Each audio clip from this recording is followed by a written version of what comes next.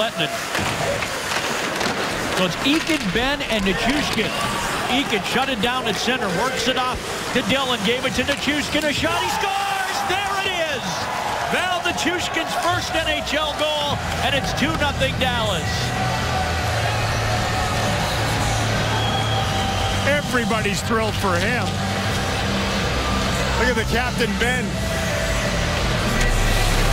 At the other end, they got chasing back to their net a little bit. Nice little saucer pass to Smith on the cutter. Good save by Kari Lehtonen. And it's Nichushkin deep in his own zone again. The Senators a mess chasing back to their end. Odd man rush. And Nichushkin goes to Viatka. I want it.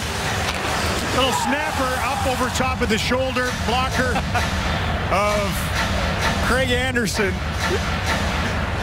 He couldn't believe it. You saw the body language. Both guys ended up looking to the heaven.